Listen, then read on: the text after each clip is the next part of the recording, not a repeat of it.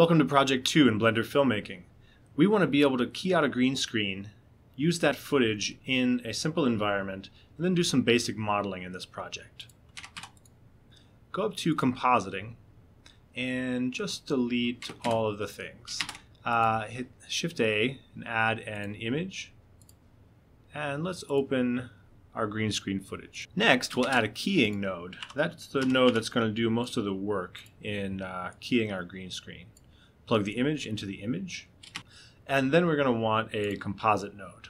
If you plug the image into there, then that is complete. That's the whole node setup. But we want to add a viewer so we can see what's going on. So we'll just put a viewer right there. Right away you can see where it's going to appear in the background.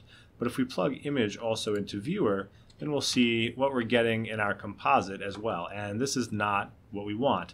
The reason for that is because if you come down here to where it says key color, you can see that the key color is white. That's not good. We have a green screen. You wouldn't want to use white because uh, there's always white pixels on people and stuff that you that you're trying to green screen. So use a green screen or a blue screen. You can use the eyedropper here just to select the color of the green screen. And if you have a really good footage like this one is, then it's just that easy. You don't have to mess around with uh, a green screen background that has a bunch of black and white and shadows and different stuff on it, right? It's all one color. That's uh, how you know you've made or recorded a good green screen video, and that's the benefit. We don't have to mess around with our choices. All we have to mess around with here is the edge of this thing and how it looks. You can see it's kind of pixelated. So the defaults here, clip black 0, clip white 1, those are good. And the rest of these settings as default are pretty decent. Our friends here are going to be dilate erode. Let's see what minus 1 does. So dilate erode means it takes one pixel off of the edge of everything. Let's do 2 and see how that looks. Not too bad. And then let's uh, let's do feather distance of negative 2. Let's see if we can tell a difference with negative 4 we don't want to take too much away from the footage. You can hold, so to, uh, to zoom out on your viewer in the background there is V. To zoom in is Alt V. And then if you hold Alt and middle click, you can drag that footage around. So, uh, dilate erode of negative 2, feather distance of negative 4 is giving us a nice, soft, but clean edge. I can see just a little bit of green here maybe, but if you have anything in the background, you're not going to see that as a problem. Back over in the image, you're going to want to know how many frames you want to use. You can figure that out by looking at the details of the file to see uh, the file length and then the frames per second. For us, uh, this is a 30 frame per second file. We want to go over here to output. The I guess it's technically the third one of these. I always say the second. But make sure our output is 30 frames per second as well. And then we want to output 300 frames because we want to make a 30 frame per second video that's 10 seconds long. So that's great. We have it set to 1920 by 1080, which is you know standard HD that we want to use, and great. So that should be good. You can use the uh, the blue handlebar down here to move through the video just to make sure that your settings uh, haven't uh, made any frames bad. So like if you have kind of a poorly lit green screen video, you might see that some patches and spots are see-through on your person because of the way that the light spill might be reflecting back on them or something like that. This one we're good, so we're going to output that. What we're going to do, we're going to output this. Uh, you could output it as a TIFF, as an uncompressed TIFF. That would give you a great high-quality RGBA image. RGB is red, green, and blue. That's what makes up a picture. And then the A is all the clear parts, the alpha. So we need a file type that will give us RGBA. For our purposes, we may move some files around. I'm going to bring these files to uh, to the to the classroom. So I'm going to make a smaller file type. It may not be as much of uh, the quality. However, we don't need the quality of that level for this project. So I'll make a PNG and I'll let the compression be at 15%. That's going to make a much, much smaller file type and a folder of folder size overall. The last thing is to set your output folder. So go over here to output, make sure you have 30 frames per second. You have it set to the number of frames you want the video length to be. All right, so let's select a folder that works for you where you want to output this. Select your folder, and then down here in this bar, in the file name bar, uh, the frames will be named with a number, right? Each frame will be given a number. But for each of these videos that you green screen, you want to put something here because you don't want uh, to have multiple videos like this that have exactly the same file names. So give it a unique identifier. I just put VR for this one. What that will do is the first frame will be VR0001. That will help Blender identify it. Blender will rename the materials or will create a new material name for a video that's being brought in. You don't want those videos to have the same material name or Blender will get confused and make them be the same video. Once you've done that, just come up here and hit Render Animation and Blender will start spitting out those files as frames into the folder you've selected. When you're done with that, you're ready to move on to the next part of this project. Now in a new Blender file, we're going to add in those image sequences that we just made. So images as planes, find your file. Within the file, hit A for all, hit animate image sequences, and for now just leave it on principled. We may add some emission later. You have to be in rendered view to see it. That's up here in the top right. You can rotate it by hitting R, X, 90. As beginners, we're going to go over here to the second area here, the setup, what is it? Render properties. And uh, we're going to switch to Eevee. It's a faster engine that's going to be just fine for our purposes. Let's raise this up. So GZ, put it above the, uh, the floor there. I'm going to bring my 3D cursor back here. So shift right click and add my background image. So shift A, image, images as planes, and look for my background image. For this project, you're welcome to select a different background image from mine. You can use whatever one that you want, that you find somewhere. Just bring it in. Make sure that it is a view of something because we're going to make a little window here. Uh, first, let's go ahead and add a light over here. So um, let's add a sun maybe. Now for our footage of the, the gamer, let's go to material properties and scroll all the way down. Put our shadow on alpha hashed. And now let's just create the window. So between the background and the figure, we're going to shift right click and move our 3D cursor. And we're going to add a plane. So shift A, mesh, plane, RX90, and let's scale it up. Grab Z, GZ, GX. So we have a wall, and uh, the last thing we need is a camera. So if I hit shift over there, shift right click, shift A, camera, and I go into the camera view, I can zoom in until I'm happy with how close I am, and then hit N, go to view, and camera to view. That means when I move this around, now I can, I can stay in the camera when I move my mouse. So now we can see exactly what we're going to get in our shot here.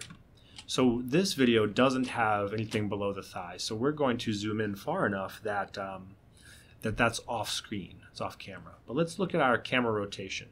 Click on the camera up here and go to item. And let's zero that out at 90, and both of those are zero. And that gets us right in the middle. So let's move, uh, let's move back a little bit away from our figure. Great. And uh, let's just scale her up until until she's safely off the edge. This red border is the camera border and so the footage is below that. So now we want to put a window in this uh, in this uh, this wall here. And the way that we're going to do that is very very simple. We're going to hit Tab to go to Edit mode. We have this face selected. Let's hit 3 for face, or you can come up here where it's Vertex Edge Face. And uh, I'm going to hit I to inset. So I can inset that as far as I want to get a window. I'm going to do the outer bit, so that'll be the start of the frame of the window.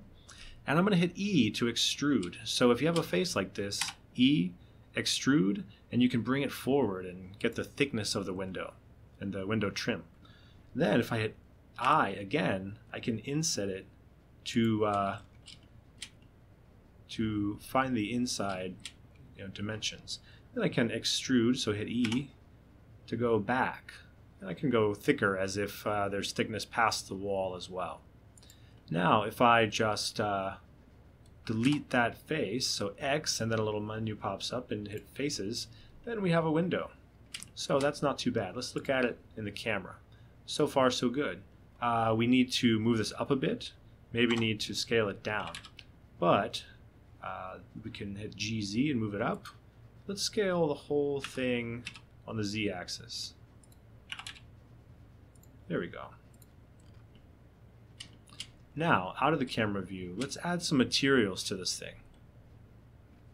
So for uh, the wall itself, uh, the wall and the window are one object, so we need to add two materials. So for the first one, we'll hit New. Let's just make it, uh, let's make it a color. Go classic wall color. yeah, sure. And then, um, and then what we need to do is select the faces of the, the trim. So in order to select a, uh, a loop, so uh, faces that are near each other in a row or a column, you can hold Alt and then click near the edge and it will select them. So let's do that for the front of this frame, for the outer edge of this frame, and if you hit if you hold Alt and Shift, you can select more than one loop. Great, so those should all be a different material because they are all part of the window frame. So let's go over here to the second material, hit New, and hit Assign with those faces selected. Now that just became a different color. It's a new material, and we can let's make it like a dark gray. Why not? We can use this button to turn off the overlays and just see what's going on. Let's make it a little lighter. Great. So Let's turn our overlays back on. In the camera view, this is not looking too bad. What we can see is that uh, everything's still a little dark. We can also see that on the video, this person was filmed with red light from one direction and blue, blue light from another. So let's add that in.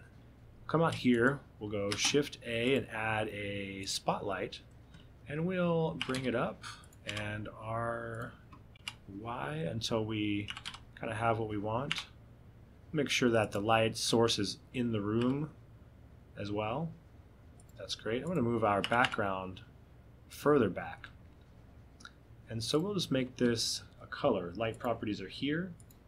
We'll make it kind of red like is in her. Well, this side wants to be blue. Here we go. And we we are going to want to increase that brightness significantly. Yeah, that seems to have helped. Let's duplicate that, move it on the x-axis, rotate on the z 180, and it's the same but different. Now let's make that one, let's make that one red. So we want these to hit her, sure, but also to hit the wall because the lighting that's hitting her should be hitting the wall around her as well. And so let's see what that looks like. Not too bad. I can see that for our lights, we're having a bit of a funny shadow here. Let's turn on contact shadows for each of those. Under shadows for each light, find contact shadows and click it. That'll clean up your shadows in Eevee. This is not looking too bad. Think what we should do is just put a little bit of a bump on the texture of the walls to make it look like it's a real place with some some paint texture, some plaster texture to it. So let's get out of the camera again and uh, we will we'll go to shading. Here in shading, we can turn on rendered view and zoom in a little bit just to see what we're going to get. And uh, we can we can add a so which which texture do we have selected? The first one, the wall texture. Shift A, search for a bump. You can plug that right into the normal for now. And let's add a noise texture. So let's add let's add a wave texture for plug the factor into the height So that should do something, maybe. Yeah, it did. It gave us a super interesting wall texture. You know what? That's pretty awesome. Uh, it's not what I was going for, but I think we might just keep that. That's pretty sweet. What does that look like in the camera? Interesting. If I dial the strength down, what happens? Kind of just looks like uh, this looks like a wallpaper. That's interesting. All right, cool. So for our um, for our window trim, let's do the same thing. So in material properties, we'll select the other material Actually, let's go back. Let's select the bump and the wave texture and hit Control C to copy and then Control V and just paste those right into this one as well. However, we don't want uh, the trim to have those same stripes. We want it to have a much more, much smaller texture. Last time we learned about uh, enabling an add-on, and we're going to enable another one now. Go to Edit, Preferences, Add-ons, and search for Node. And at the bottom, you'll see Node Wrangler. Make sure that's checked. it lets you do all kinds of fun stuff with nodes, and this is this is one of them. Control T will give you a mapping node for your wave texture. So what that will do, a lot of stuff, but go to Z for rotation, type in 90, and you have rotated this texture to be uh, the other way. Um, we can click and scroll over all of these and scale the texture way up. We've given ourselves a sort of a fine horizontal rule there. It's an okay texture for this for now. Let's go back to our wall in layout. Let's look at the color. The beige is no longer working for me now that we got this wallpaper thing going on. Let's make that, uh, let's make it kind of gray, kind of blue. In immaterial properties, uh, once you've added a material, you get this list of long attributes right here. Uh, specular is how much light it reflects, whereas roughness is how shiny it is. So something could be, uh, you know, very reflective but not very shiny, and um, it's kind of just diffuse. But if it's very shiny and very reflective, then it's super super shiny. But our noise texture is just completely dominating this, uh, this situation right here. Let's see if we can dial that down a little bit. Back in camera view, I'm going to hit F12 to do a render and see what we get. This is looking okay. And I want to brighten things up a bit because there's just too just too much darkness. So I'm going to see if I can raise the lights. You know what I'll do? I'll put a little bit of emission on the video itself. Let's go to shading and uh, drag the color down to emission. And then we'll just make it 0.2. Let's see how that looks.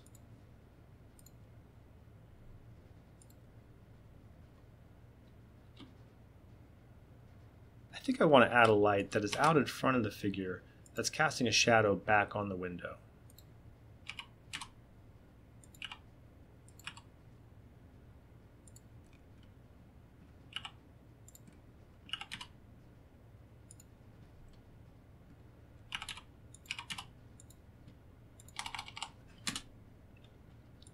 doesn't need to be that bright.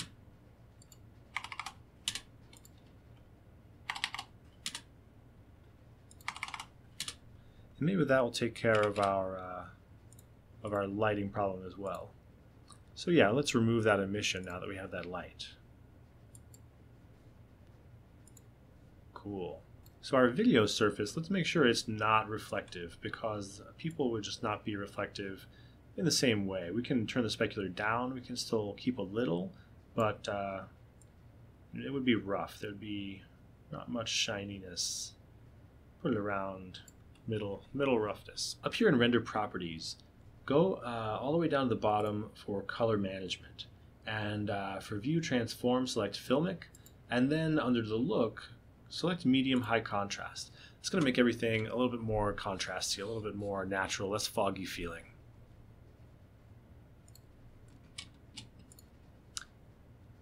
Let's select our background and raise the emission on that. See if we can get it feeling a little bit more lively back there.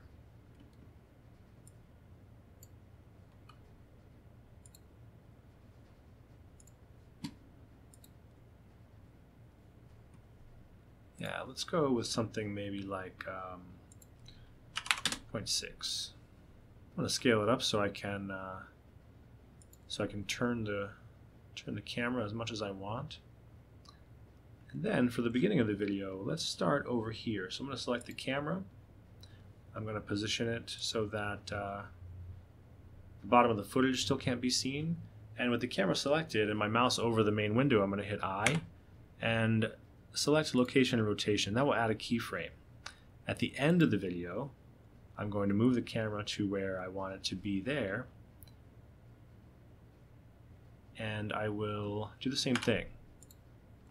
Now the camera will move while the video is playing. I think now we'll add some like sci-fi window window bars. So just move your 3D cursor over there, add a cube, scale it down significantly. Let's scale it up on the z-axis a lot. Great. Scale, and then Shift Z will scale it on everything other than the Z axis. Cool. Let's uh, scale it a bit on the X axis. Rotate it on the Y axis. You can get that kind of thing going on. And let's scale it. So if you hit S for scale, and then tap Z and then Z again, it will scale it on its own local Z axis, which is what we kind of want here. You can do the same thing with grab. Grab Z, Z, you can move it on its own Z axis. That way we can use its own coordinates to kind of get it in the place that we that we want it to be. Cool. I'm gonna shift D to duplicate that and I'm gonna move it down but I'm gonna hit shift Y so that I don't move it on the Y at all. That way it will stay in the same plane where it was. Now I can do scale on its own Z axis again, grab and move it around. Now I have another window bar there, that's cool. Great. Let's add those on the bottom.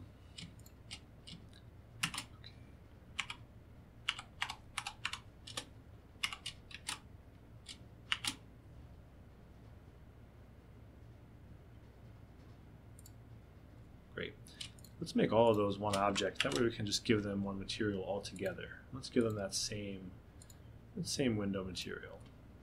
How does that look? Kind of like, uh, kind of Miami cyberpunk. Great.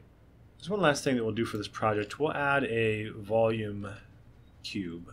So click anywhere, add a cube, scale it up bigger than your whole scene. You can scale it down in height. You don't want to make it any bigger than it needs to be, but it needs to encompass everything. And for the material, go to shading, select new, and just delete the, uh, the principled BSDF. Hit Shift A, search for a volume scatter node. Plug the volume directly into the volume. Make the density like 0.02 and the anisotropy, turn that up to 6 or 7 or 8, you know, 0.6, 0.7, 0.8. Cool. Now we have sort of a sort of a smoky thing going on that if I hit H or Alt H, you can see it wasn't wasn't there before. Let's get out of the camera. Yeah. I want to move the background uh, a little further away and make it bigger. That way there'll be more of that fog I just added between the background and the camera. Let's turn that uh, let's turn that fog up just a little bit. All right. Cool.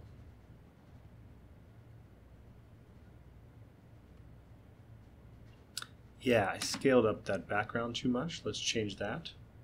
If you scale up your background too much, then you won't get any detail uh, from the picture. So the thing to do is to go to the end and see exactly how little you can get by with.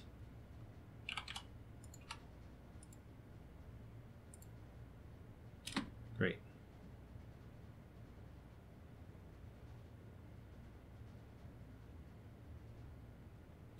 Cool. That looks good.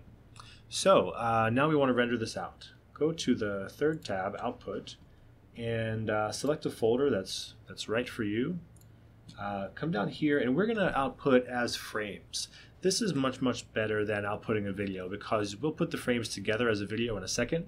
But if your process gets messed up or the program crashes or whatever, uh, you may have spent a lot of time rendering your frames. You might have gotten halfway. Well, you would be halfway done still, even if the program crashed if you did frames. Whereas if you start rendering a video, if it doesn't finish making that video, that video file might be corrupt. So let's select PNG, RGBA, compression is fine for us.